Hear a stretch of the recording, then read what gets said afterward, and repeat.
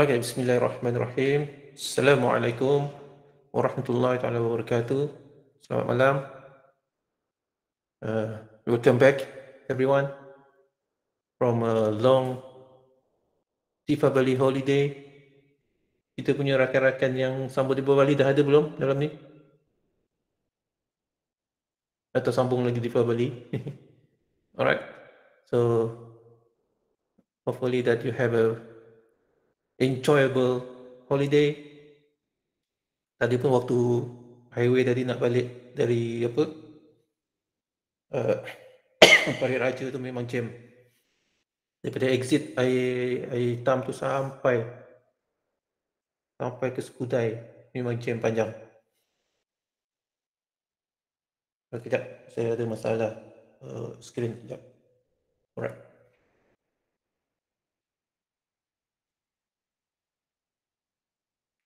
So what we're going to cover today, uh, tonight is about uh, still about the process control. So we have covered part one uh, last weekend, last Sunday. So now we're going to cover the, the, the part two, which is more on the variable analysis for individual control loops. So let's start by reflecting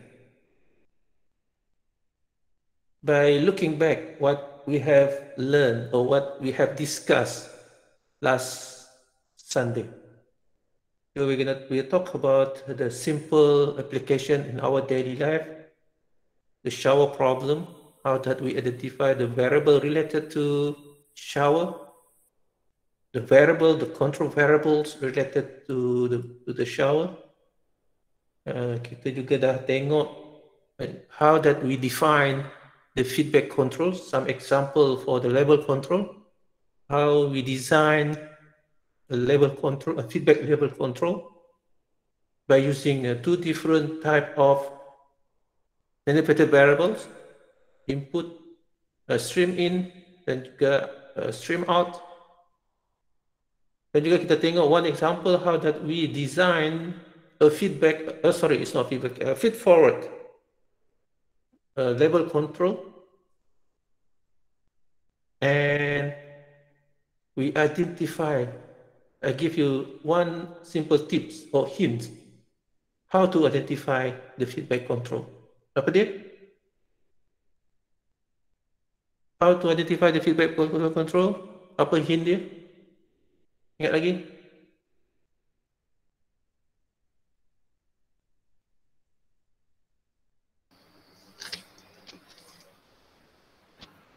We measure is what we control.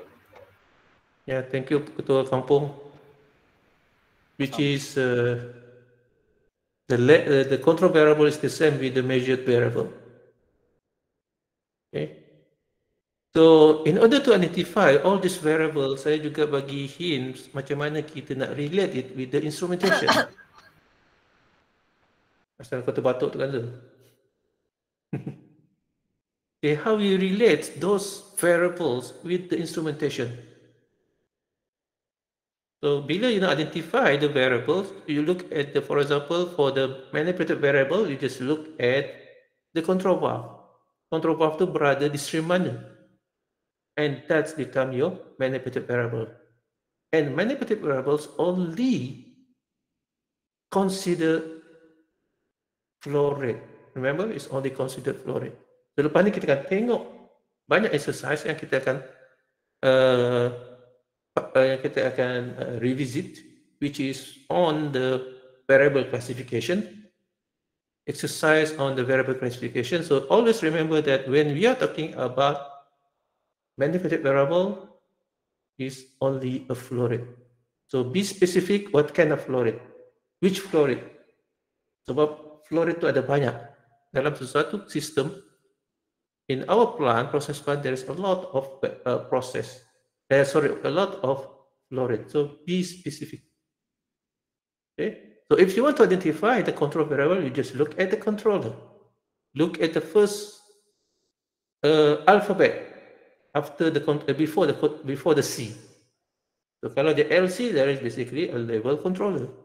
So the, the control variable is a level. Kalau the FC, this is a flow controller.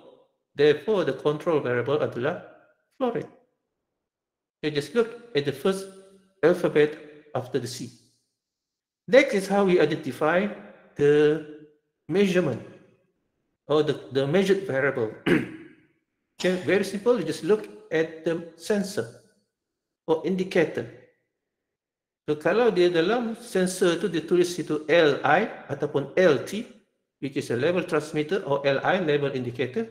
So therefore our measured variable is a level.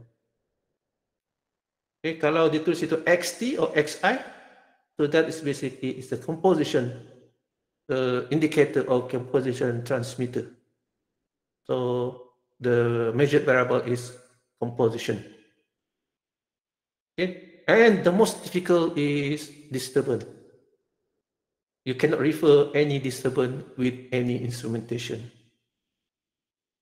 So you need to have a knowledge. Process knowledge. Again, process knowledge is very important. Either it's on the operation, either in the control, either it's on, on design. So the knowledge on the process is very important here. All right, so let's revisit process control part two.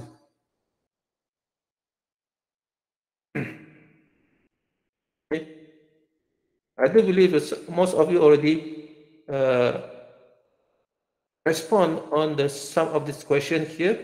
Tapi ya, seperti biasa kita akan tengok benda tu. I'm sure that, yeah. Salah, betul, that is basically common in learning. Okay, you learn from the mistake, but never make it ataupun make it happen again. if you look at this variable classification, variable classification is very important. First thing first, when we are talking about process operation, especially process control, we need to understand first, or we need to able to classify variables involved in the process control or in a single control loop. Such that we able to understand, fully understand the process. Okay. Uh, hopefully that you still remember that about the, the second law of process control that I have mentioned, I think, a few weeks ago, few weeks ago. Okay. The second control law, which is very important, understand the process very well before you want to control it. Okay. That is the most important uh, rules that you need to apply. Next semester, when you go to the industry for your practical, so please understand all the process. Tak kisahlah what is your assignment there nanti, but if you don't understand the process very well, then you may having a lot of problem understanding the process or, or if your task is basically to operate that process, you may have a lot of problem. Okay. So in a single control loop, so we need to classify four different variables, which is CV, we call it a control variable. So singkatan dia adalah CV, manipulated variable, MV, measured variable, measured variable, uh, usually I use uh, MS, small s, MSV, and last but not least is disturbance. So these four variables are very important for you to classify. Once you're able to classify this, then the operation will be much better for you to handle it, to maintain it, to control it. Okay? Right, so let's go for this simple exercise. So the question is, please identify all variables involved in this level control system. So we have covered this, actually. Okay, so this is a level control system for a tank, closed loop tank. Uh, exercise kita sebelum ni open open tank kan, so this is a closed tank. So we have the control valve, the level control valve. We have a controller, level controller. So we have a level uh, transmitter there.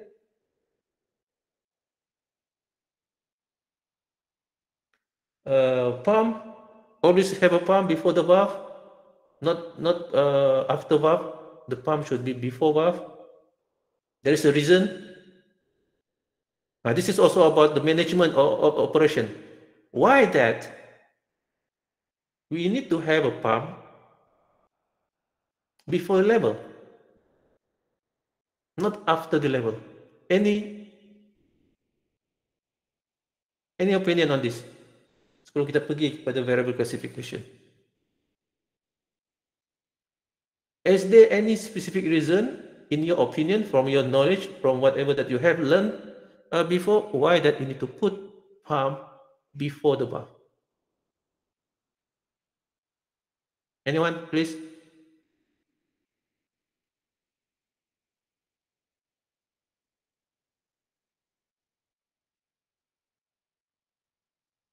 Aziz Iskandar mulut engkau tu nak jawab ke ataupun nak uh, tengah mengunyah je? Giling-giling kepala. Any idea why that we need to put control valve before eh we need to put pump before control valve? Hafiz kata Kenapa apa Hafiz? Ya, Kazal.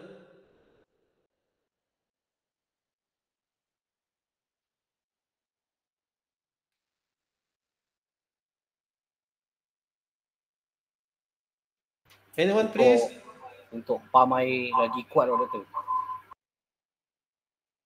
Oh, kau duduk dekat-dekat ni dengan siapa tu? Ingat Aziz eh? Kau tu penengung. Uh, nak bagi power, nak bagi power apa? The pump uh, horsepower? To boost the pump horsepower?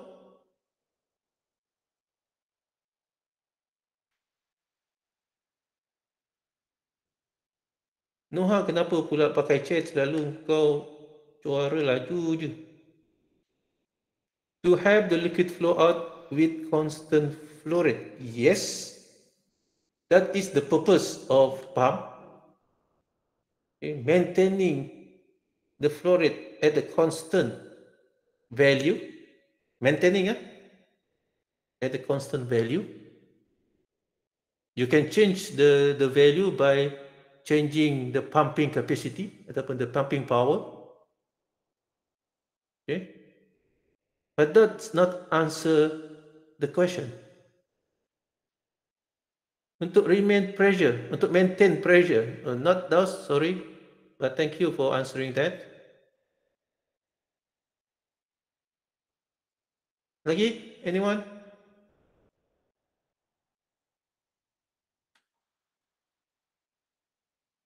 Kadang you nampak muka saya ke tepi, tengok tepi saya, saya, saya pakai dua skrin sekarang ni. Sebab tu saya kadang tengok depan, tengok tepi.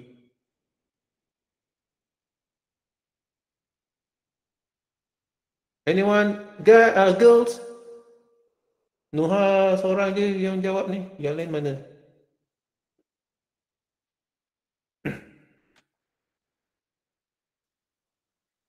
It's basically sorry, relate with the safety. Okay. Apa yang Nuha cakap, yes, I mentioned there is, is right, but that is, that is the, the, the purpose or the function of pump. But putting pump before the control valve is for the safety. For the safety of the pump itself. Okay? Can you imagine if you put the pump after the control valve, what will happen? Kalau tiba-tiba control valve, you know what happened to control valve?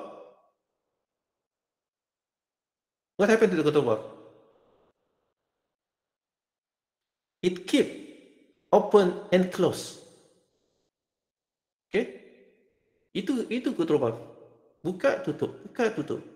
But what happened kalau you put the control valve after uh, pump after the valve, kalau time tu pada masa tersebut tiba-tiba control valve is closed.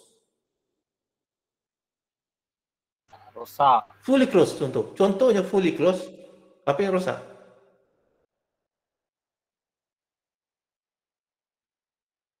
General, there's nothing about uh, explosion here, blowing here. Okay. Sebab pump takkan build apa takkan build pressure. Pressure is about uh, vapor. If there is accumulation of vapor, then the vapor will be the pressure will be the vapor will be uh, pressure will be built up. What will happen kalau you put if you put the control the the the pump after the valve if in that time suddenly the the control valve is fully closed what will happen to the flow?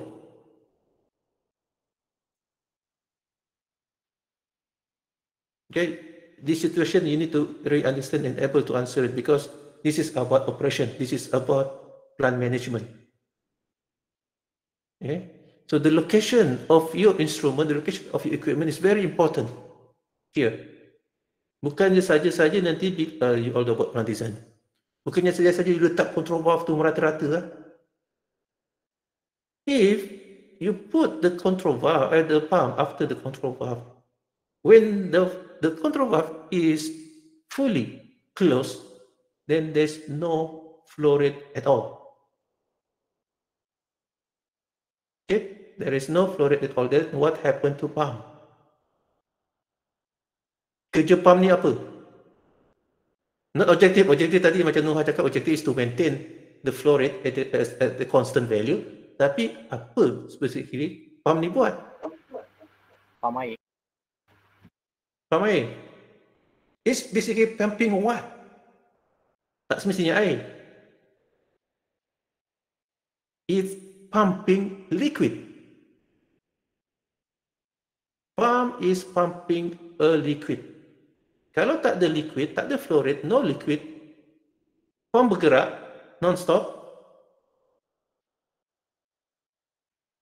dia pump uh, mungkin uh, air saja, udara saja, then it will apa? overheat and rosak. Okay, ingat uh, pumping uh, pump is only uh, the the the the function of pump is to move or to transport a liquid from one point to another point pump a, li a liquid. The same thing also for the compressor. okay, what is the objective ataupun what is the function of compressor?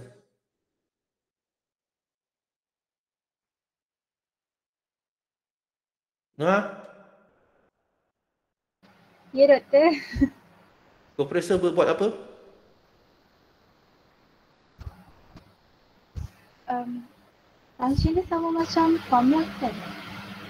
Increase pressure, yes. Tapi dia buat apa? Apa yang dia transport?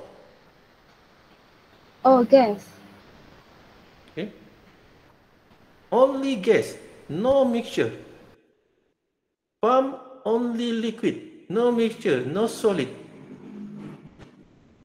If you have a slurry, then you cannot use the pump. You need to have a suitable pump that can transport slurry. You cannot pump gas. You can only compress gas. If you want to move the gas from one point to another point. Okay. So what happened kalau gas dalam tu you don't have any gas at all? Dan sama akan jadi juga sama macam pump nanti compressor akan rosak. So that's why you need to put either compressor or pump before. Kenapa kalau time tu control valve close pun total flow eh, total close liquid masih ada masih ada lagi because liquid come from the tank. The only thing that the only thing that happen is there is accumulation there. There is a pressure built there. Tapi flow masih lagi ada. Okay. So sama juga kalau you ada uh, compressor. You want to compress the, the the the vapor at the top of this tank. Then after that you need to have a control valve. Of course you may have a several uh, manual valve atau hand valve in between, but that is basically for for the safety purposes for you to do the bypass. Okay, But the real thing is, if you have a control valve, since control valve is basically automated, can be suddenly closed, it can be suddenly open. Therefore, you need to put that after your auxiliary equipment, after the pump, after the compressor, after the expander.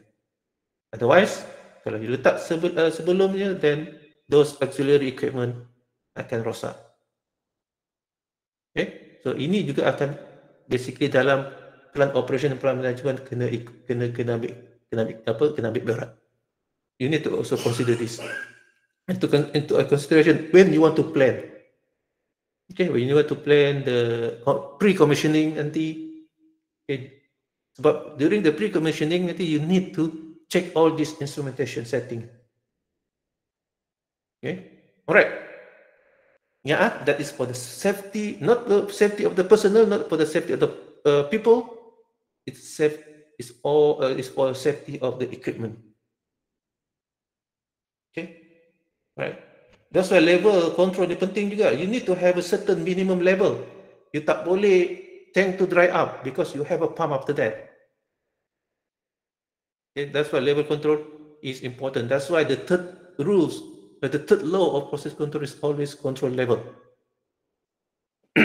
Selain daripada you maintain the mass balance is to stabilize the process, but for the for the safety purposes for the equipment, that is basically to maintain the minimum level size that you pump, because pump is keep pumping. Kalau you nak stop dia, you need to have a backup. Remember when you want when you plant when you when you design your plant, your chemical plant, dalam you punya drawing, dalam you punya PFD, of course you only have one pump. But if you draw your PNID, you need to draw a backup pump. It's a must. Ha, tapi you all dah buat, tak apalah. Dah lepas. Okay, alright. okay, so this is basically that uh, our tank level control system. Kita tengok apa jawapan apa soalan ni. Share your thought. Okay, so what is your CV? What is your measured variable? What is your manipulated variables? And what you what is your disturbance? Uh, okay. Apa lah yang mention pump power ni? Siapa yang start ni sampai semua ikut?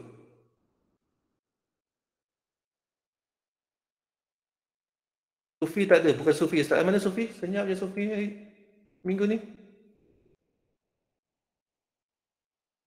Where are you Sufi?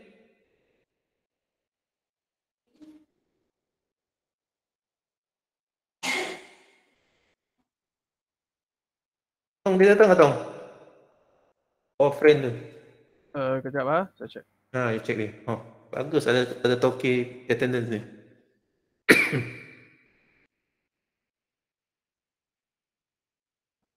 Kau tengah makan, Aziz Iskandar kau tengah makan Ada, dengan dia ada belum? doktor, ada, ada. Ada ke? Pasal dia senyap, malu-malu ke dia? Dia trendsetter apa? okay, so kita tengok what is a control variable. So how you identify the control variables? What equipment ataupun instrumentation that you need to refer at? Apa dia? Ins- Instrumen apa yang you nak, tengok?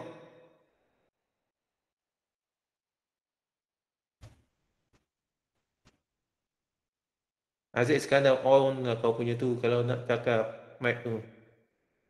Man, selalu kau type laju je kan ni.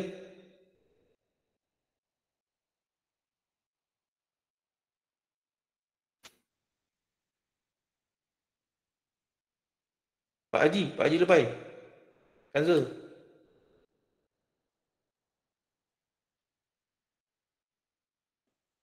So when Ya, you want to, yeah, Apa dia doktor?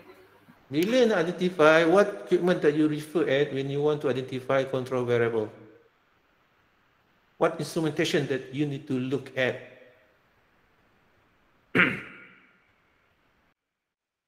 Ah,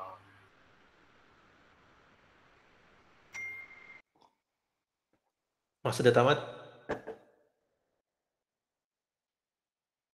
You look at look at the controller. So now kita ada LC. So uh, what is our control variable? Level. Those yang jawab level, tengok berapa ramai jawab level.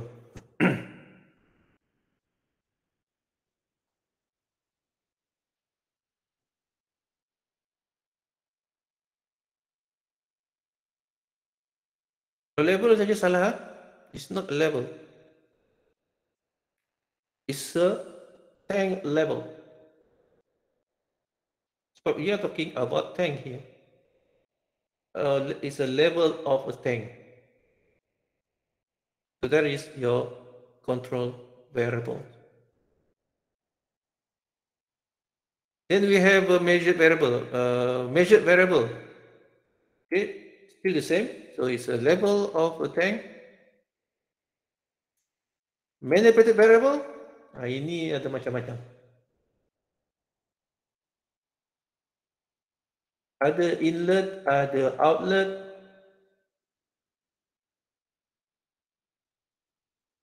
Mostly inlet.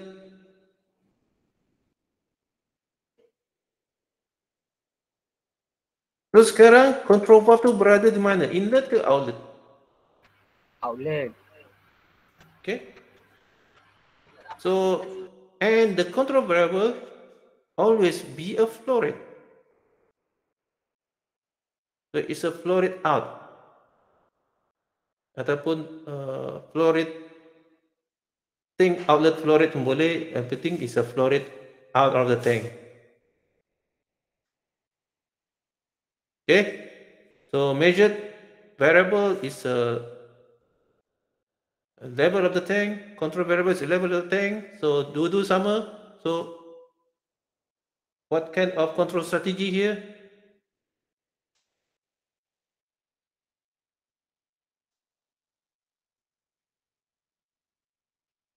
Apa? To control the level. No, I'm talking about control strategy no, huh? When your control variable and measured variable is the same.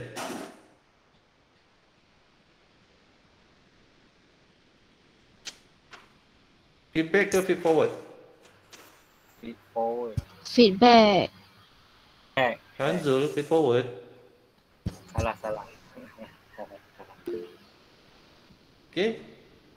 Measure the control variable sama, so it's a feedback. Okay, now we are talking about the last, which is basically ramai yang salah ni. Disturbance.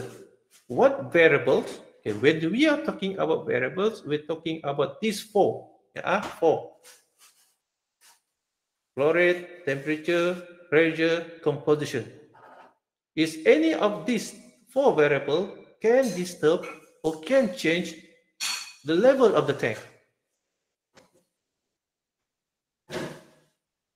Which one do you think? Jangan tengok jawapan tu, jawapan tu tak betul. Flow rate. Inlet flow rate. Inlet flow rate. Okay, be specific. Tank inlet flow rate. Sebab nanti ini cuma ada satu tank saja. Kalau you ada enam tank, so which tank? With in, uh, flow rate of the tank that you want to refer at. Which one? So tank, kalau tank one, tank one. Kalau tank two, tank two. So that's one yeah. It's a fit in of a tank ataupun tank fit in. Okay. That's the only one that can disturb the level. It's not a pump power. Pump power is constant. Okay. You boleh uh, ubah dia. Yes, you can change the pump power, but that is not a variable. Semua ikut pump power. Remember, when you're talking about disturbance, it need to be among these four variables. Flow rate, temperature, pressure, and composition. Other than that, it's wrong. Okay, so please betulkan nanti untuk yang ni. So usually we will, we will have uh, what we call it a table of variable analysis. Dalam tu kita akan ada banyak yang kita boleh letak first usually if you have a multi multiple control loops dalam uh, question or in in a very specific exercise then you need to very you need to specify which kind of control loop that you want to analyze. Kalau ada empat, ada dalam empat. Okay, control loop one, control loop two, three, and four. And every that you need to specify what is or identify what is all those variables yang empat tadi. Okay, and from that there might be any uh, any additional can be any additional question asking about the control configuration, feedback, feed forward, cascade whatsoever. Okay, kalau nak tambah lagi then the control objective. Why that? You need to control level. For what? Okay, to make the uh, to make the system uh, the process stable. That's one of the reason. That's one of the objective. Or for the equipment safety. Pun boleh juga. Or for the smooth production. Without without controlling level, then your production cannot cannot be smooth. For example, there must be some uh, disturbed operation because of the level cannot be maintained at a certain value.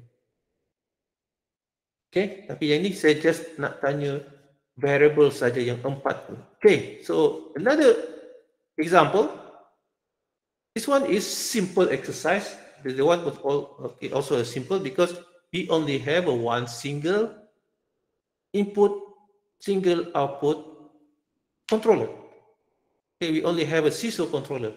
Nanti kita akan ada banyak controller and some of them maybe uh, have a certain interaction between them. Tapi ini kita tak analyze benda tu. Okay, so we look at the same at the same control uh, at the same tank, closed tank, whereas the objective is to maintain the level or to control a level at a certain set point value. Okay. Okay, saya, kita tengok dulu jawapan dia. Okay. Sama je korang ni.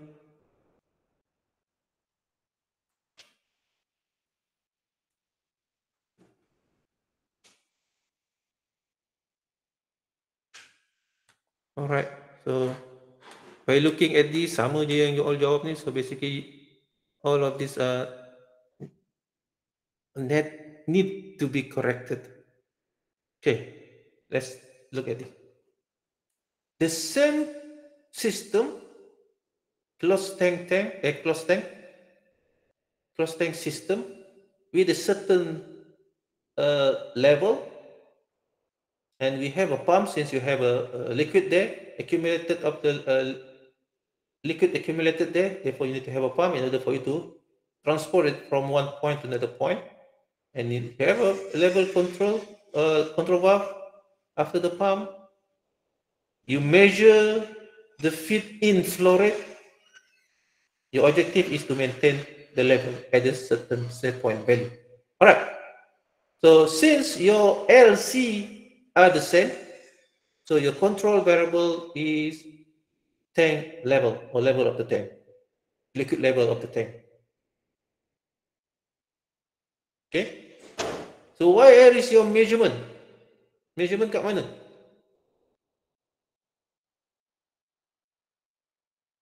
So you measure at the fit in, the flow rate in. In this case, you are measuring flow rate in. And since this is the same system, therefore flow rate in is also a disturbance. So your measurement and disturbance are the same variable. So what is the control configuration? Controller jenis apa? Feed forward control. Feed forward controller. Okay, ya yeah, Engineer Rico, feed forward, thank you. Kalau cakap feed forward kena ada controller tu. Otherwise, it doesn't have any any meaning. Okay, feed forward controller, control system ataupun uh, le- macam level control system. Okay, what type of controller? Feedback controller or feed forward controller. Okay. And the same manipulated variable, you are manipulating the flow rate out. Okay, so ini adalah feed forward, feed forward controller. But your control variable are the same, maintaining the level by manipulating flow rate out of the tank. Dalam kes ni, your measurement, uh, your measured variable and disturbance is the same. Okay, control variable sama dengan, eh, measured variable sama dengan disturbance. So this is feed forward controller. Okay. So please do the correction. Boleh main tinggal-tinggal kau jadi kau. Jalan kapal kau baru kau tahu. Kau balik ketua bulat kan? Jadi kau? Tidak.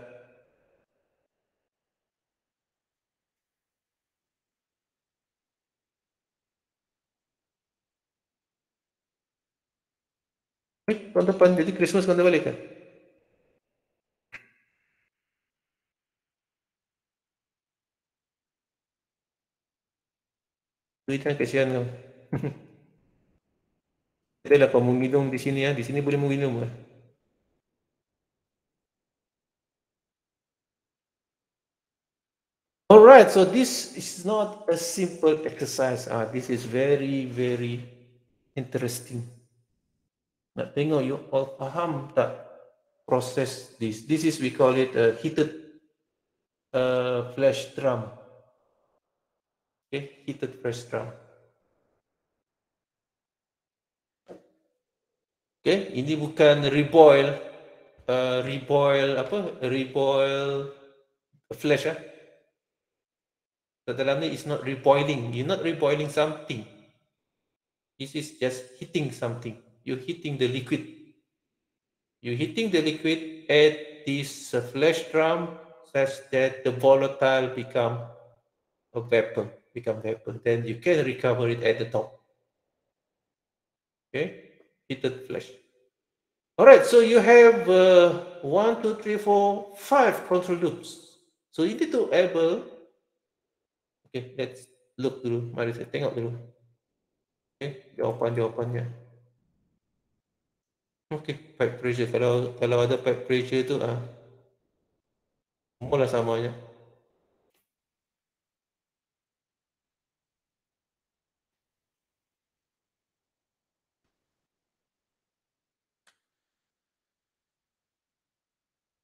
Uhu.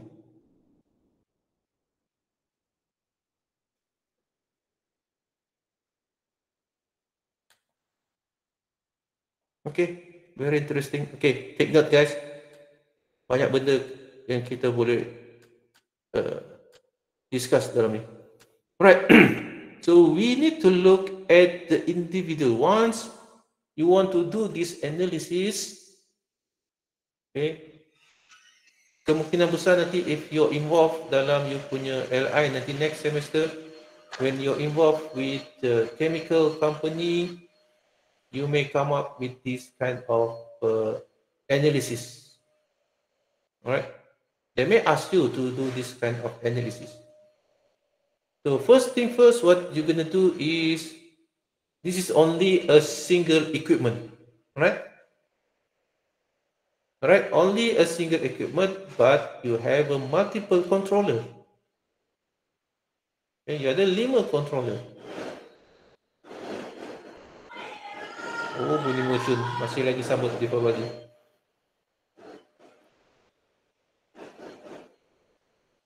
Mana apa yang suka sangat teman? Ha, dia tutup terus. Alright.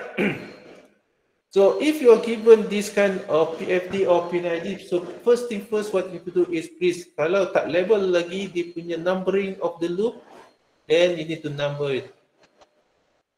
Okay, letak nombor loop number one, loop number two, loop number three, such that you able to identify such that dalam you punya nanti table tu you tahu okay this is loop number one. Why nanti tak keliru. Okay, let's look at the loop number one. What kind of control system of this?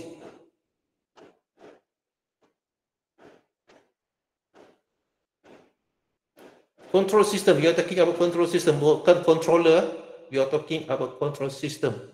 What is the control system, ya Afika? What is the control system of this loop number one? Eh, tadi dia nak jawab, nak cakap.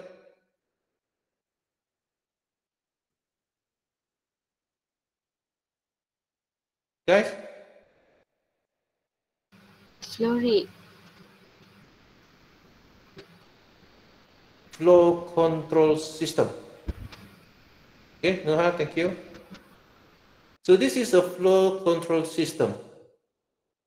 And what is the control configuration? What type of controller? Siapa tahu sini? Sebelum kita further discuss indi- each individual contr- uh, variable. Tengok pun dah tahu dah. Feedback. Okay. Yes, it's a feedback. Thank you Noha. Selalu ni, eh, siapa yang selalu type OO panjang tu? ah? Afika. Oh. Noha dia macam tu je. Kalau tanya satu sepatah, sepatah lah dia jawab. tak apa, at least menjawab. Okay. So this is a feedback controller for a feed uh, for a flow rate control system. Right? So what we measure? What is your measured variable in this case? Loop number one. Anyone? flow rate, Salah. Kalau kalau your, your answer is flow rate, it's wrong because we have so many flow rate here. Level, sorry, salah element. Level, salah, it's not level. Loop number one. Inlet Flow rate loop. Be specific. Loop what is what?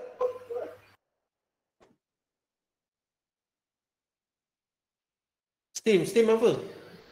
Yeah, steam flow rate. That is your measured variable, steam flow rate. Kalau dalam drawing tu ada dah specify any specific name, then you need to mention that name. Kalau tak ada, contohnya macam uh, fit in dalam tu. Tak ada kan? So you can mention you can mention it's a fit into the flash. Flash fit in. Okay? So the measured variable here is the steam flow rate. Sebab dalam tu memang steam pun. Okay, you measure flow, steam flow rate, you control steam flow rate. So measurement, a measured variable and control variable are the same. So therefore, as feedback controller, yang you manipulate also the same steam flow rate. So how about disturbance? What kind of disturbance that can disturb uh, disturb the steam flow rate? Ada ke? Ada ke ataupun tak ada?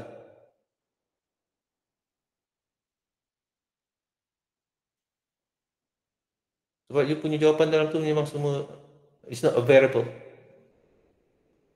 Okay, pipe pressure lah is not a variable. Anyone? tak ada. Tak ada. Tapi you all jawab ada sini. Ingat tak yang type 1, type 2 minggu lepas?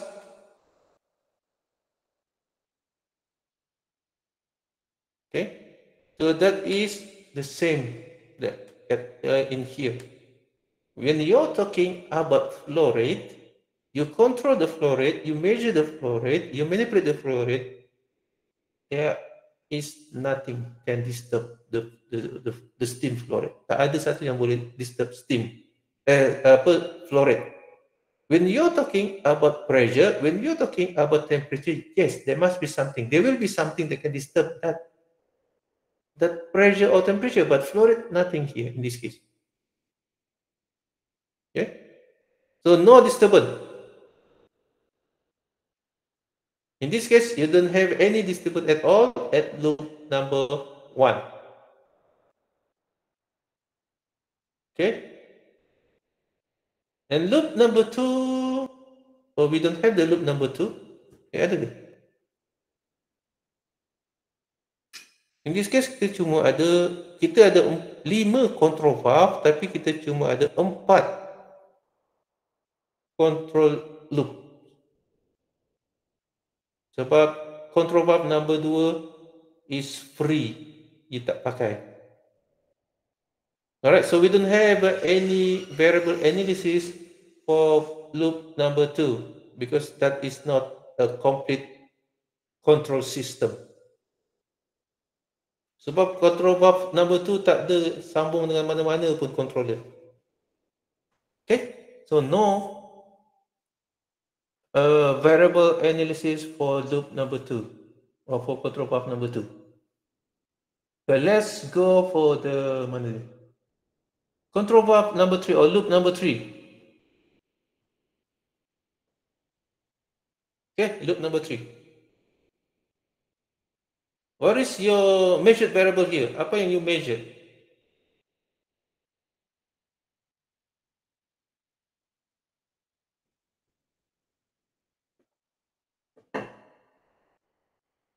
Vapor pressure. Vapor pressure.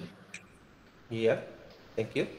Yeah, is one, thank you. It's vapor pressure ataupun pressure of the the flash pun boleh because what inside the flash uh, flash drum is the same with the uh, vapor pressure at the top.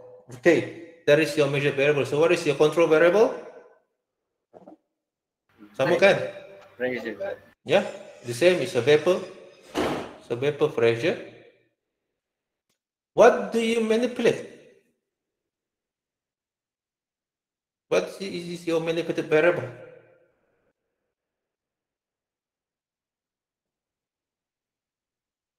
Flow. Salah, Temperature. salah. Opening valve, no, that is not variable. We are talking about variable. Pressure. Composition. Composition. Guys, kan saya dah cakap sebelum ni, when you're talking about manipulating variable, manipulated variable, we are just talking about flow rate. Nothing that, nothing than that.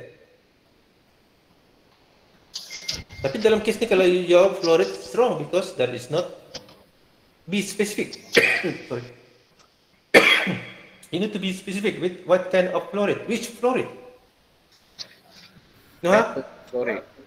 Yeah, can do. Vapor flow rate. vapor flow rate. Be specific because you're talking about a single specific flow rate. Sebab flow rate ada banyak sama macam steam tadi. If your if your answer is just uh, flow rate, then it's wrong. Sebab dalamnya ada banyak flow rate. Okay, be specific. So the manipulated variable is the vapor flow rate. Okay. Oh, laju man kau borak.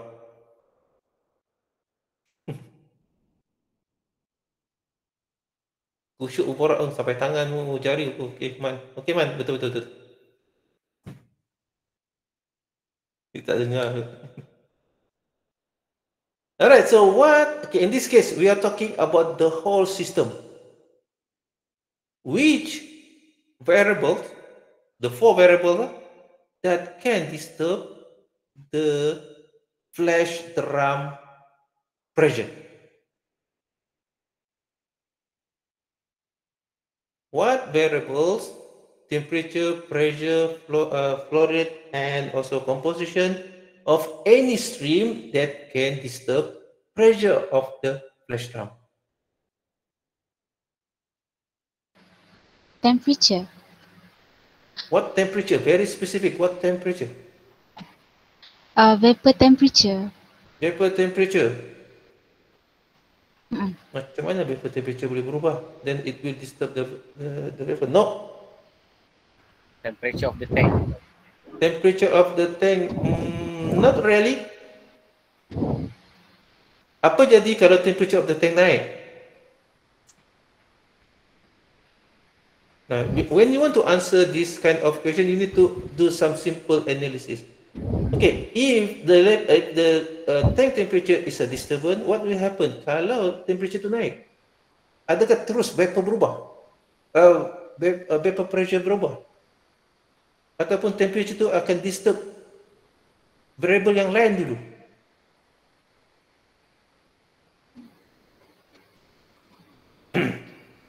okay. It is indirectly, it can disturb the, the vapor pressure but not significant. Lagi? Any idea? Any guess? Pressure of the liquid in the tank. temperature of the liquid in the tank, which is also the same with the temperature of the uh, rest drum or the tank? No. In this case, sorry, Vapor vapor flow rate is already manipulated, so it cannot be a disturbance. Apa yang boleh disturb pressure dalam tank ni? Composition. Composition? Tak ada, tak. Entahlah, rasa macam tak ada je. Ada. Uh, Steam Vapor flow rate pressure. no. Steam flow rate tak ada kaitan sebab steam flow rate tu dalam coil, dalam dalam pipe. Dia tak masuk pun, dia tak bercampur pun dalam tank tu. It's not a steam flow rate. Jawapan dia adalah feed pressure. Kalau feed pressure berubah, naik turun, apa jadi dengan pressure dalam tank? Dalam pre- press drum ni? Berubah ke tak berubah? Berubah. Okay. Man, temperature is not the answer. Okay. It's just a feed stream. Eh, sorry, feed pressure. Wah, kalau level pun, atau uh, kalau feed flow rate pun berubah, it's not a disturbance. Okay, let's say kalau tengok, kalau feed flow rate naik, apa yang akan berubah dulu?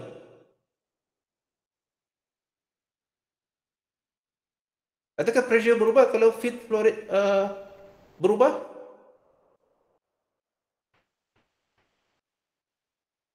Ya. Ya ke mana? Eh, Kazul. Kalau feed flow rate berubah, yang akan berubah adalah level. Ya, betul lah Zah. Level yang akan berubah dulu. Sebab that is direct. Bila level dah naik, then barulah pressure akan berubah. Sebab ruang untuk vapor tu dah jadi kecil. Ataupun dia, kalau uh, level turun, dia menjadi besar. Jadi flow rate, uh, pressure akan drop. Remember, this is a closed tank. It's not an open tank. Kalau open tank, then level naik turun takkan kacau disturbance. Eh, takkan kacau pressure. Tapi that is secondary. Flow rate nak berubah, yang berubah dulu adalah level. Lepas tu baru pressure. Tapi yang directnya adalah feed temp- uh, pressure. Feed pressure berubah? Yes. Pressure akan directly berubah. Kalau feed temperature berubah, yang akan berubah dulu adalah level juga, bukannya pressure. But most uh, some of the uh, liquid dalam tu akan vaporize. Okay, drop and since you have more pressure, then the pressure uh, more more vapor accumulated, then uh, pressure will change, will drop ataupun will increase. Ada lagi? Oh, sorry. How? Oh, tahu angin banyak. How about uh, steam pressure? Will the steam pressure disturb the uh, the drum pressure?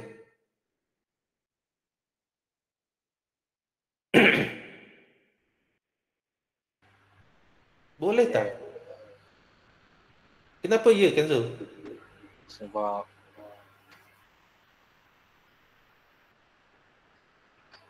Tak lah. Nuha cakap no.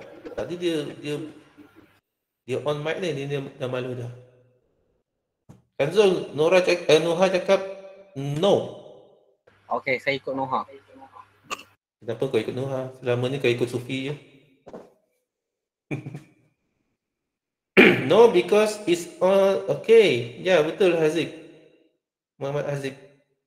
Sebab benda tu dalam coil, dalam pipe. Dia tak bercampur pun dengan liquid, dengan vapor dalam drum tu, dalam cage drum. It's a different boundary already. So if your steam pressure berubah-ubah kan daripada apa uh, high pressure steam ataupun low pressure steam pergi kepada medium pressure steam uh, steam tapi since benda tu berada dalam pipe therefore pressure dalam apa dalam dalam fresh drum akan berubah. Yang akan berubah adalah level. Sebab level when you have a different pressure steam you have a different heat capacity supply, have different heat supply to the liquid. Jadi some of the component, the liquid will will vaporize. And that make kalau lagi banyak vaporize, then will make will make the level drop. Okay. So jawapan dia satu saja, which is the feed pressure. Direct feed pressure berubah tinggi ke rendah, directly it will affect the column ataupun the drum pressure. The rest is not a disturbance. Okay. So this also a feedback controller. Okay. Wah, ada 9.40.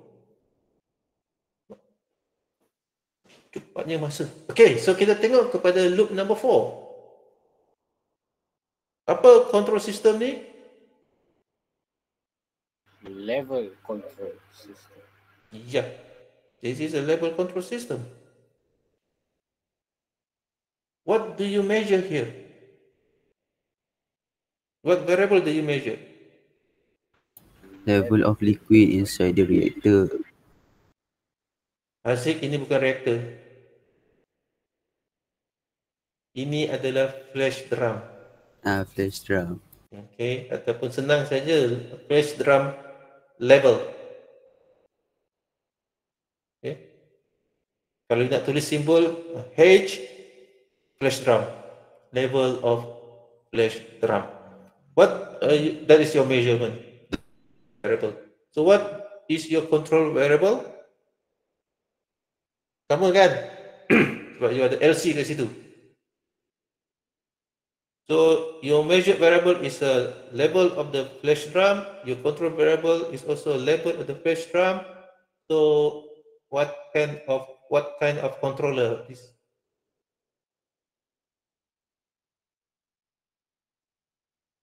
measurement dengan control adalah sama. Okay. Feedback controller. Alright. Uh, Azhar is wrong. It's not feedback control. It's a feedback controller. Yang tadi tu siapa? Muhammad uh, Elman pun salah. It's a feedback controller. Hazi, uh, Hairul Zakwan, feedback is wrong. It's a feedback controller. Okay, so it's a feedback controller. So what, where, uh, what is your manipulated variable here? Liquid flow rate. Outlet. Liquid outlet. Outlet tu bukan variable. Liquid flow rate. Sebab liquid dalam tu ditulis liquid kan kat situ. So kena ikut lah. Okay, it's the liquid flow rate. That is your manipulated variable. Okay. Disturbance. Ini menarik ni disturbance. Kita ada yang masuk dalam sistem dan keluar kita ada dua input, dua output stream. Eh, dua input and tiga output stream. To which variable of these five stream that can directly disturb the level of this flash drum? Variable lah, ada empat tadi. Apa dia? Inlet flow.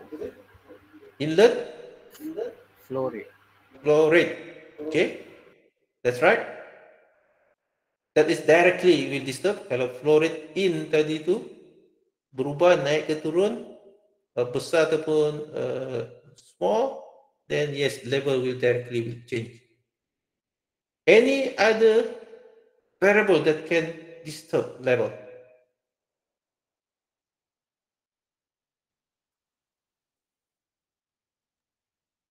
Remember, when you're talking about disturbance, it can be no disturbance at all. It can be only one. It can be more. That, that's why the knowledge of the process, the understanding of the process very important. Rasa-rasanya selain daripada fluoride in tu ada tak lagi yang boleh disturb level dalam?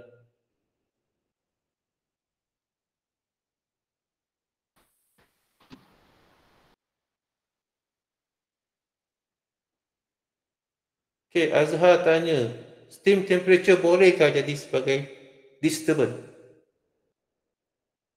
Is that possible for the steam temperature to be a disturbance for this level controller or level system, level control system?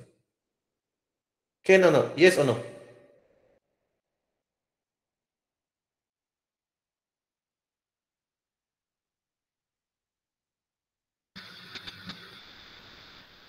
Saya rasa tak.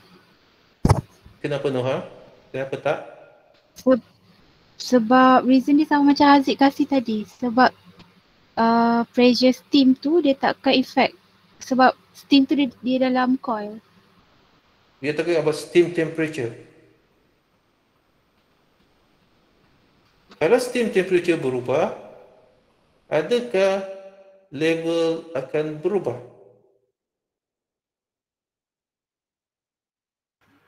Berubah. Kanzul cakap berubah. Kenapa kau tak ikut Noha? Selalu kau ikut Noha. Eh.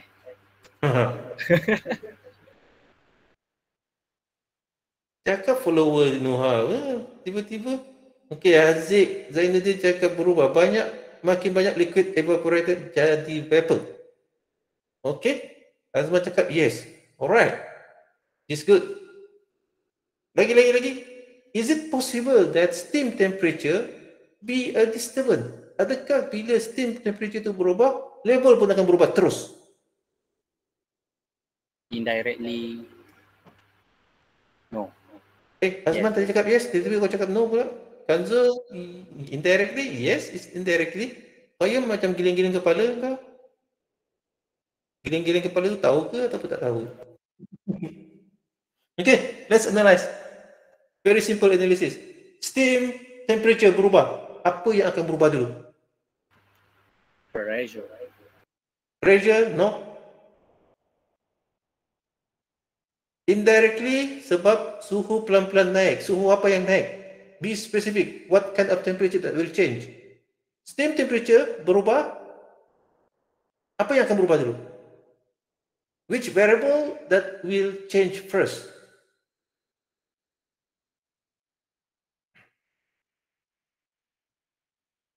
It is indirect, yeah. I agree with your answer. Kanzul answer in some of your friend answer. Yes, it's indirectly. Direko cakap indirect. Tapi apa yang variable yang mana yang berubah dulu? Adakah kalau steam berubah, steam temperature berubah, liquid level akan berubah? Ataupun kalau bukan liquid level berubah, so which variable yang akan berubah dulu? Ingat ah, yang direct dia kena direct impact. Macam tadi kita tengok apa pressure uh, disturbance of the pressure control adalah feed pressure. Pressure will affect pressure. Dalam kes ini, kalau temperature, then it will affect temperature first. So temperature mana yang akan berubah dulu kalau steam temperature berubah?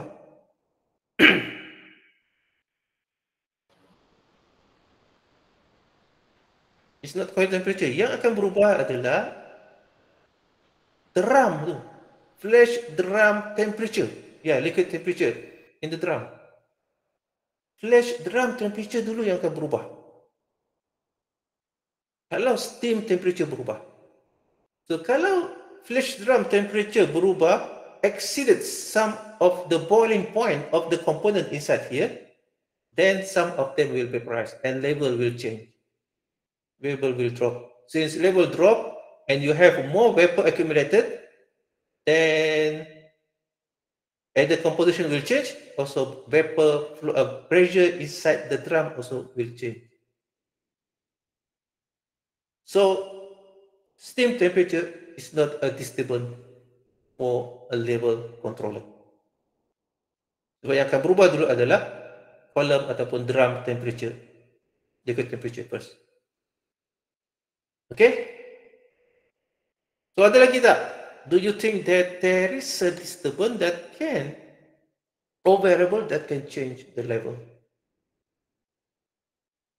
So in this case, tak ada. Sebab dia kena direct-direct. If your control variable is liquid, eh sorry, is a level, therefore yang the only variable that can change it is flow rate. So which flow rate? Feed flow rate. So if your control variable is a pressure, then the only pressure that can disturb it, which is the feed pressure. Nah, lepas tu barulah ada indirect ataupun secondary uh, disturbance. Okay? How about no, no Azhar. It's not a primary. It's not a primary disturbance. Impact dia sebab yang berubah dulu adalah temperature. Temperature of the drum dulu yang berubah. The liquid inside the drum dulu yang berubah dulu. Lepas tu baru akan ada impact terhadap variable yang lain. so it's not direct. Okay, if you think that there is no any other fluoride, uh, sorry, uh, variable that can disturb the level, so how about the liquid fluoride? Ataupun, yeah, can be a liquid fluoride become a disturbance?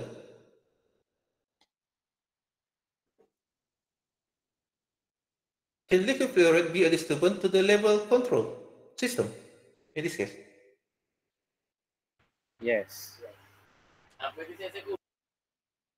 Kenapa yes kan tu? Ada yang tanya soalan tadi. Boleh tak level fluoride jadi disturbance untuk uh, level liquid fluoride is a disturbance. Can liquid fluoride be a disturbance for level control system? Kan Zul cakap yes. Ataupun nak tukar jawapan. Yang liquid fluoride tu yang kat Tu, Bawah. nampak liquid tu ada bawah tu. yang bawah tu kan. Hmm. Boleh doktor. Kenapa Sebab boleh? kalau kalau dia keluar banyak level turun lah. Kan itu adalah kau punya manipulated variable. Oh. Oh, ya. Mana boleh pakai lagi? It's already become your method variable. So it cannot be used as a disturbance. You cannot declare it as a disturbance. It's already manipulated because you already put the control valve there. Alright? So please, any variable associated with the control okay, you cannot use it as a, uh, for example, the liquid. When you're talking about control valve, you're talking about fluoride. So any fluoride associated with the control valve, you cannot use it as a disturbance, or you can since it's already manipulated. But you can measure it. But you cannot use it as a or declare it as a, uh disturbance. Memang dia akan sentiasa berubah sebab it's already manipulated. You open, close the valve, then the flow rate will change. So it's not a disturbance, it's a manipulated variable. Okay? Alright, that is the loop number four. Then we go to the last one.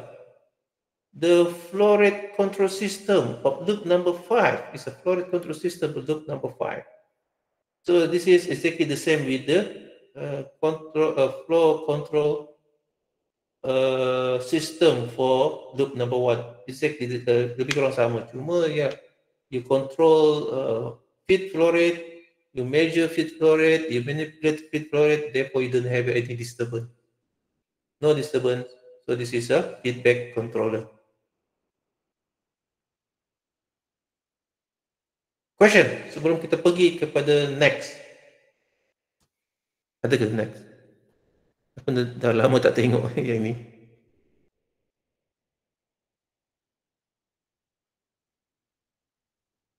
Is there any question guys? Oh no, that this is going to be the last one.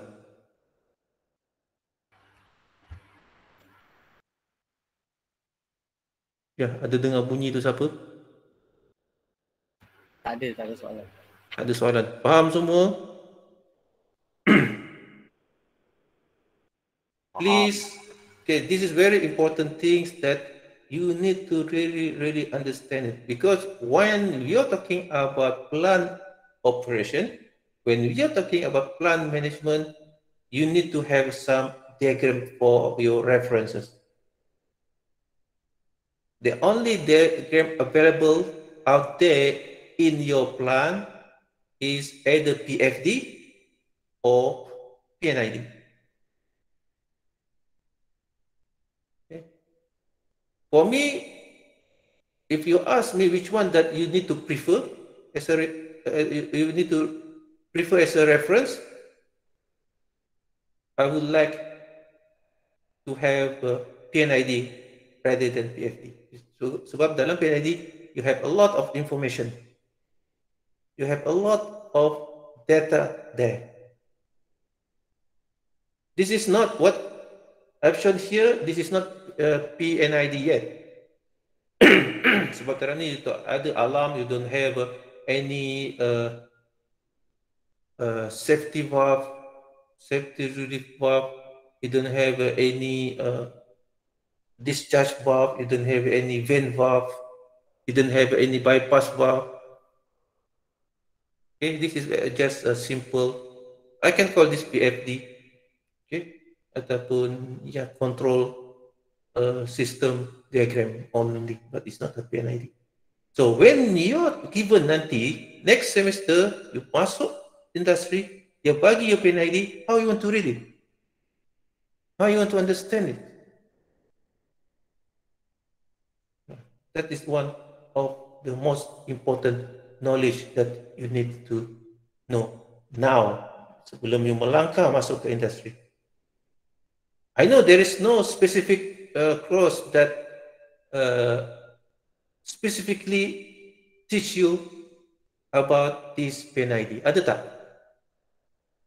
Specific only to read and understand PNID, piping and instrumentation diagram. Start from the transforming ataupun not transforming, uh, converting the block diagram into PFD and from PFD you convert into PNID. That is the most important knowledge that you need to have. Easily dalam industri you will will be given a block flow diagram, PFD. Okay, you ada block uh, reactor punya block, reaction block. Pas reaction block, you ada uh, separation block. Now, that is a block. It's only have a block. You're only given a block. What happened with my camera? Uh, saya minta belajar uh, belanja kayu sebab dia pakai DSLR. DSLR. Okay. Nanti saya bagi link. Okay, terima kasih. Tapi you kena ni lah terus. Okay. Baik yang bayar dia kau lah. Kena tu, code tu, discount code. Alright. eh, hilang lagi. Payung, payung. Ataupun tak habis bateri. So, saya pakai handphone. Handphone as a camera. Pasal my, my punya laptop tak ada built-in camera. Alright. Uh, kat mana kita? Okay, block diagram. So, from you need to able to transfer, to transform the block process diagram into a PFD. PFD ini adalah senang saja. You transfer the block, contohnya block reactor, reaction punya block tu, you tukar kepada any specific reactor. CSTR ke, macam kita dah tengok sebelum ni, kita ada uh, batch stir tank reactor ke feed batch uh, feed batch uh, stir tank reactor ke ataupun CSTR untuk liquid. Ataupun kalau you nak gas you can use a, a plug flow reactor. It can be continuous it can be batch it can be semi batch once you transforming the the the block into a unit operation we call it process flow diagram. You have a separation block. Dalam tu mungkin ada macam-macam yang kita dah cover sebelum ini. It can be a absorber, it can be a flash, it can be a reball absorber, it can be condensed absorber, it can be distillation column, it, or it can be a, a refinery. Okay. So from the block, the information is very limited, but we can understand the process. And once we transform it into PFD, we have extra information because we have a specific unit operation. We have a specific reactor. We have a very specific separator.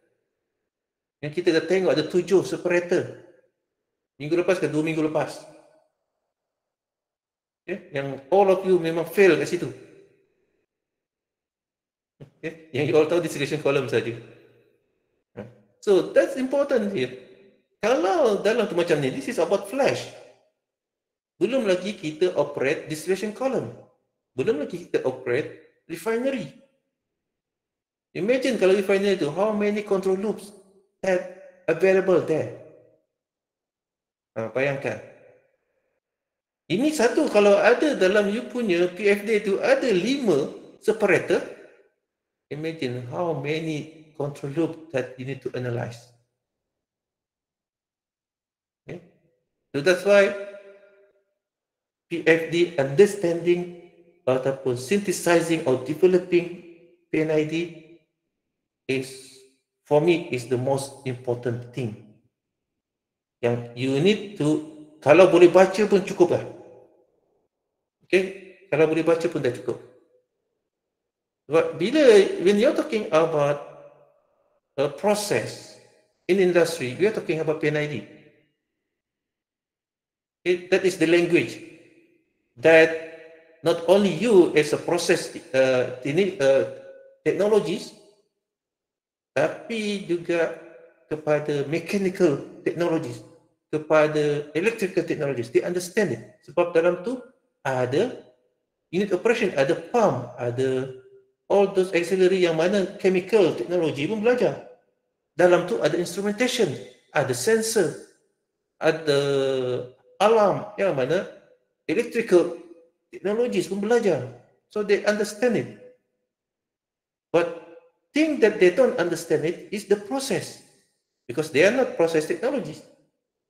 All of you are process technology. Sebab tu, there is advantage as a process technologist or process engineer. Ah, saya, saya kena bezakan sebab selama ni memang saya mengajar engineer dan semester tiba-tiba mengajar teknologi so. So you need to able to understand that you are in term of process knowledge are much higher than other engineer yang lain. Sebab tu dalam satu plan yang akan end up as a manager bukan engineer yang lain bukannya civil engineer, uh, bukannya civil technology. Kalau tak ada engineer, then you all akan jadi uh, manager. Usually they will uh, prefer engineer yang akan jadi manager. Tapi kalau tak ada, then you all boleh jadi uh, manager. It's not a electrical technology. It's not a mechanical technology. It's a process technology yang at the end akan easily end up as a manager. Because you learn the process. You learn the control. You learn the design. They don't learn design at all.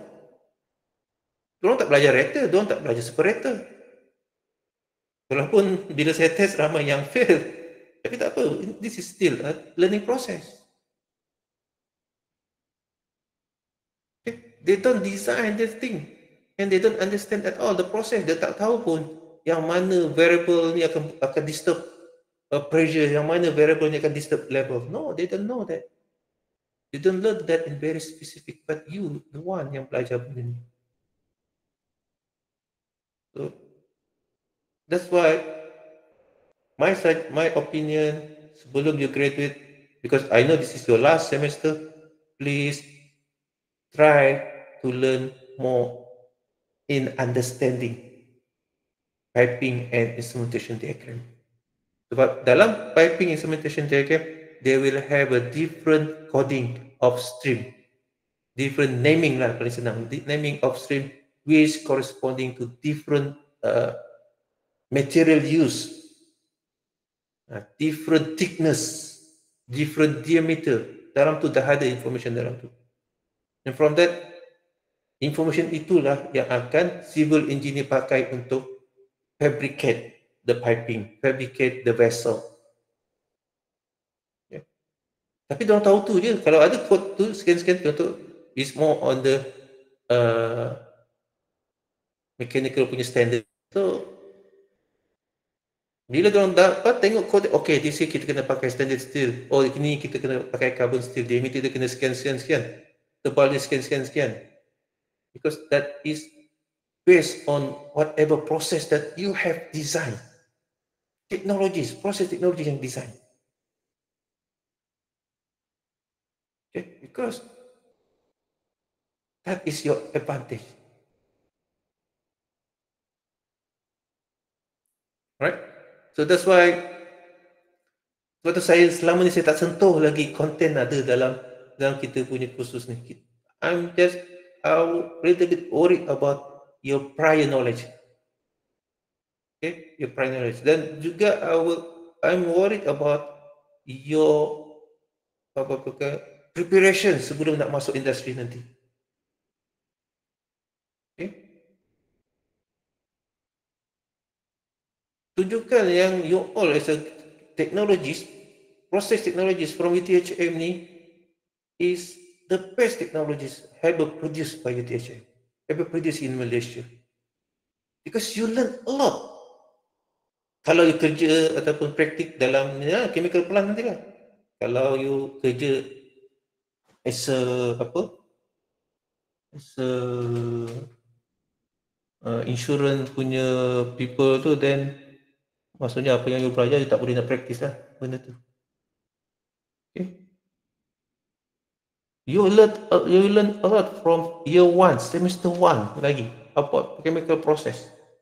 About apa yang kita dah dah dah, dah cover dalam onion layer tu. Biasa kan kita dah buat yang awal-awal kan onion layer tu. That is basically your knowledge.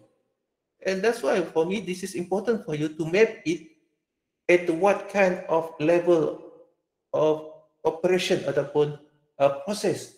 Supaya you boleh tahu okay sepatutnya eh, dah, kalau reaktor ni saya dah faham dah dah belajar dalam chemical reaction. Okay this uh, waste treatment sepatutnya tak ada masalah because we have cover there. Okay. control pun sepatutnya tak ada masalah because we have already cover before this uh, POM that's why POM ni should be the last the last course that you need to take before you graduate before you go for your practical. Supaya you don't have a apa cakap kita kena reducekan gap tu to prepare you for the real one.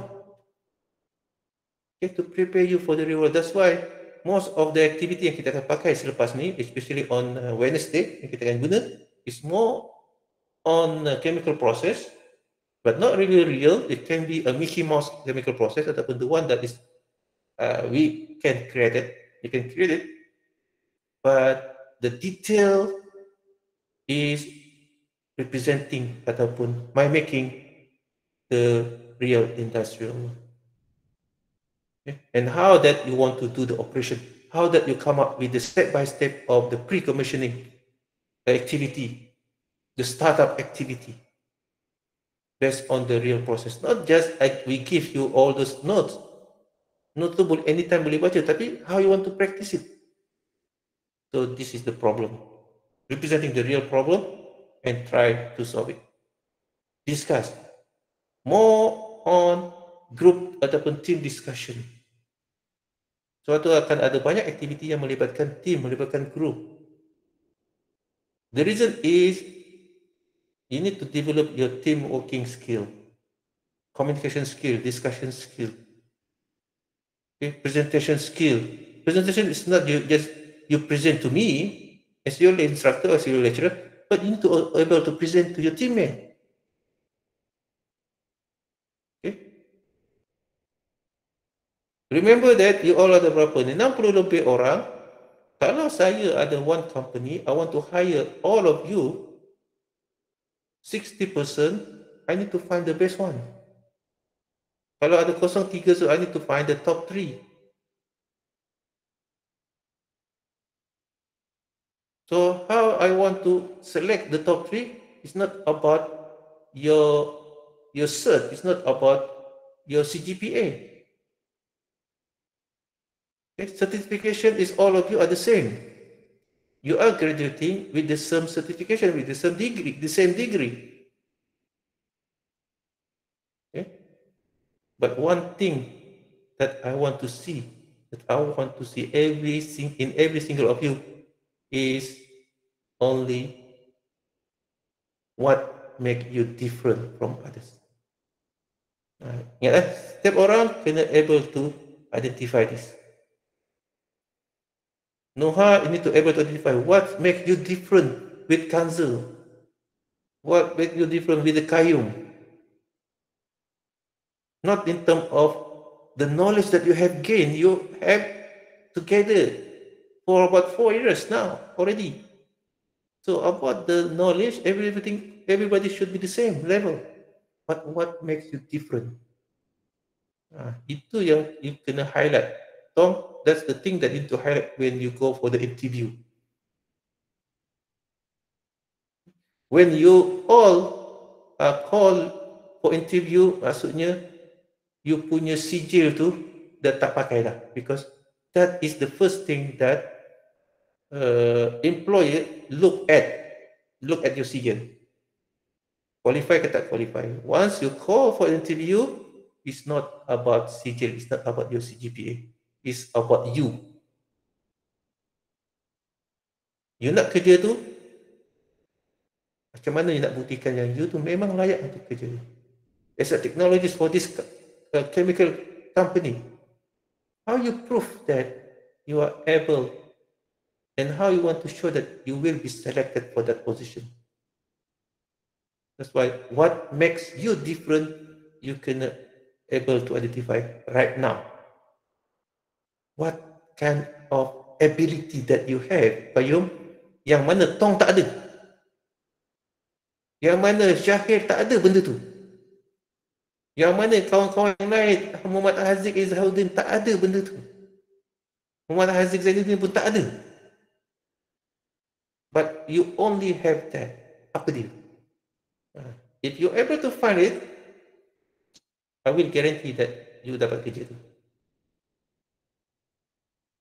Okay? Tapi kalau nak identify distillation column dengan column lain pun tak tahu lah, itu masalah lah. Remember, that's why benda ni kena tengok balik. Doesn't mean you are already passed that you forget it. No. Pass-pass lah. Sebab tu cakap benda tu, once you have call, you have call for interview, you punya pointer semua tu dah tak kira dah. Now it's depend on you. Right, depend on you. Okay, I have a knowledge in doing this, this, this. We have experience in solving this, this in our POM class. Okay, we have able to discuss it and come up with this solution together. All this solution is come not only from me as a team member, but it's the whole team member come together to come up with this solution. So that means that you have a team working skill, very team working skill there. Not as a also as a team member, but also as a uh, leader of the team ataupun as a uh, kita selalu kita panggil dia sebagai moderator of the team of the team. Okay? Oh, I have, I have this, I have this kind of experience conducting this kind of uh, activity during my undergraduate studies for four years. Okay? I've involved with this where I contribute. I contributed in collecting the the fund for this uh, CSR activity. Uh, that is another skill. Macam mana you boleh tarik cari sponsor or conducting as as a certain CSR activity. Nah, itu another skill lah, which is not related to your knowledge, but that is also a skill which is required right now, especially during this pandemic. Okay, that's advantage. Now, Akila, find out why you are different. Believe me, kalau you tak boleh identify it now, then you can identify it in future. Sama juga tak erti. If there's still missing there, then you still have opportunity to develop it, to inculcate it in this, within this semester. Especially the communication skill, that's very important. How you respond, how that you communicate with each other. Responding also is very important.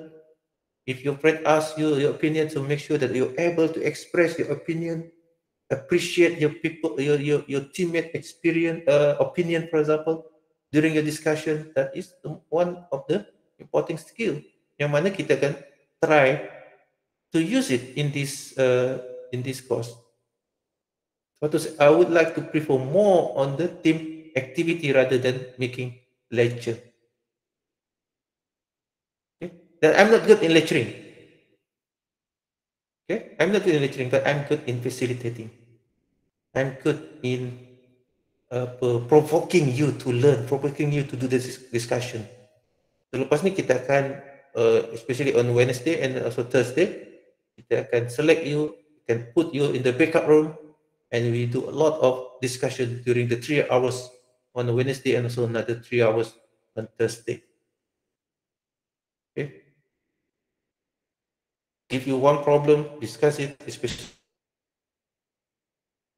for the chapter one pre-commissioning, and then after that, come up with the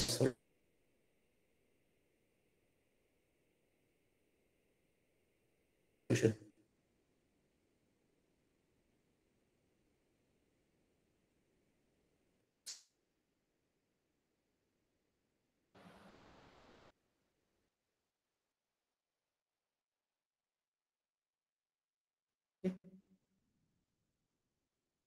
We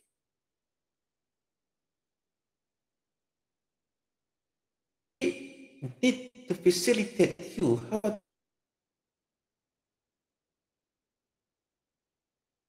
that you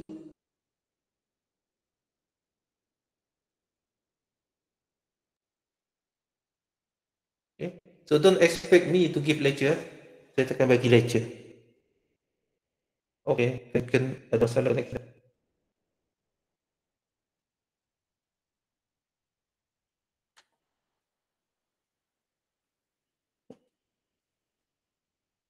Ada network masa.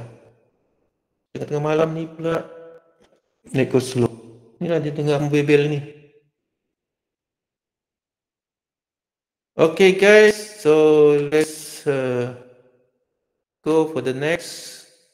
So hopefully better you. Okay, jangan jangan malu buat silap lah. Masa belajar ni jangan malu buat silap. Biasalah. Mistake always happen. Tapi kalau you silap waktu waktu you kerja, then tak ada maaf. Okay, sama ada you kena kena warning, ataupun you kena denda, turun gaji, ataupun you kena buang kerja. So don't ever make mistake when you are in industry. Sebab one simple mistake, okay, impact dia akan menjadi besar. Boleh kilang you, boleh meletup, boleh terbakar, whatever. But if you have a mistake here during this class, tak ada impact pun. You can basically lagi bagus sebab you tahu mana you punya silap. Contoh sekarang why that I spend masa banyak untuk revisit what you have learned previously? Because I would like to uh, know your basic understanding of this. Okay? Uh, especially on the process uh, on the chemical process. Because understanding that uh, kenapa tak ada kamera ni Yalah. Because understanding that is very important. That's why I know where where are you you are at now. So what basically that I need to do you to challenge to do for you to challenge you basically to recall back what you have learned. Now that is most challenging thing that I need to do now. Otherwise, nanti kalau saya terus kepada what that you need to cover all, all the content for this uh, POM class nanti you pun masih lagi apa benda pula ni. Because most of you especially you know differentiate between the certain uh, unit operation with the other unit operation especially which is the most important in chemical process reactor and separator. Not just only knowing the name but know the function. Right that is very important Okay, so this is going to be the last for this uh, introduction uh, part. Oh, introduction baru dekat seminggu sebulan baru introduction saja. Hopefully that you have learned something. Kalau tak banyak pun sikit. Okay, dengar-dengar saya membebel ni, that's normal. Okay, kalau you dengar you parent membebel pun, that's basically that's normal. Your lecturer, your parents, your whatever superior ataupun nanti your boss membebel because there is something that they need you to know. There, there is something that they need you to learn. Okay? Kalau dia tak membebel maksudnya dia tak, dia tak ambil kisah. Hantarlah. That's usually. But those who are take uh, care of you, taking care of you, and they know that there must be something that you need to learn about, then they will start membebel dan bising-bising. Okay? As now I already know your basic uh, fundamental knowledge, and that I know that there must be there there are a lot of things that all of you need to need to be uh, need to to do and the simplest way that we can do is more on the team activity. Okay? First thing is it will help you in a real situation in the real industry because dalam industri pun is all about teamwork it's all about uh, company activity, company performance. It's not about you individual performance, but dalam company it's not you the only one who do the work, who responsible for all the work is basically uh, the whole company, and you will be divided into several several section or several team. Okay, so we are preparing you for those for that real experience. Okay, so ada apa nak tanya? Sepanjang almost one month, okay, kita kelas plus cuti banyak, plus cancel kelas lagi. Okay, so hopefully that you already come up with this infographic. Uh, believe me, most uh, oh no lagi kau kena dating dia, tak makan tengah uh, makan malam lagi most of the activity that we can we we will do starting this Wednesday is something like this infographic summary individual uh, infographic summary uh, team ataupun group summary activity summary everything start with the individual and then come up with the from the individual you need to come up with the infographic for example untuk infographic ya untuk chapter 1 you need to do individually. Then you do that in your team. Develop a summary contohnya untuk chapter one for in, uh, for your team.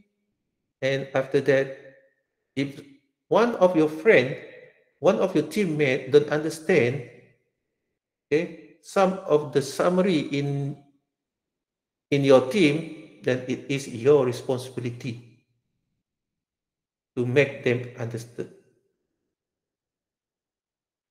Okay. Sebab nanti pun dalam you, bila you kerja nanti when you have a team, if you want your team to perform, you tak boleh tinggalkan salah seorang ke belakang. Kena tarik dia sama-sama. Otherwise your team akan jadi slow. Because one of your teammate is lag behind. You tinggalkan dia, you tak tarik dia pun bersama-sama. So it's your task as a teammate to make sure that everybody understand what is the output, the deliverables of your team activities. Ada banyak team activities yang akan kita buat. Okay, the team saya akan guna what apa Dr. Aziz dah, dah bagi tu.